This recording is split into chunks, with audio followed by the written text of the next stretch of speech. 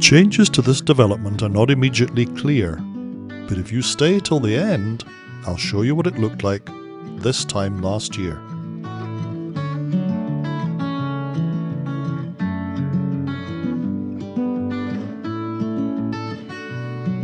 We'll have a closer look in a moment at the earth moving activity on the far north end.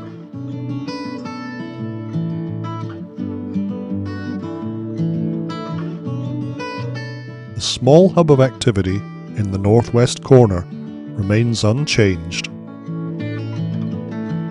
Unchanged too is the flooding, although pumps have now been engaged to try and clear it.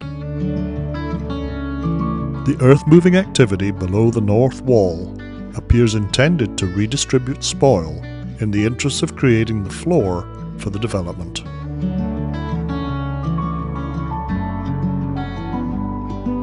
The work involves a great many man hours and some heavy machinery.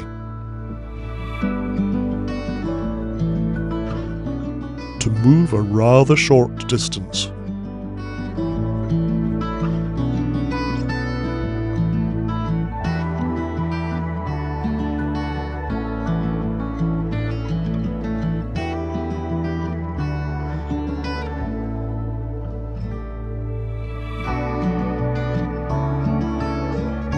Elsewhere along the north edge, the rock picking excavators continue to be very busy.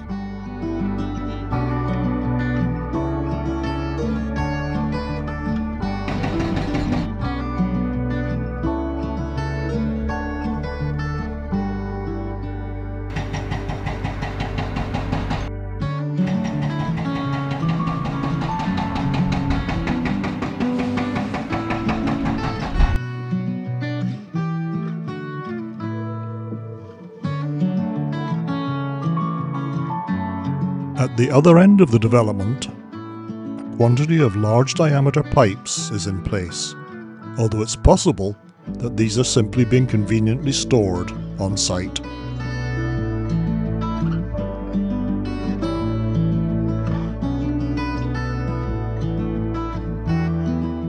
Here's a quick look at this time last year.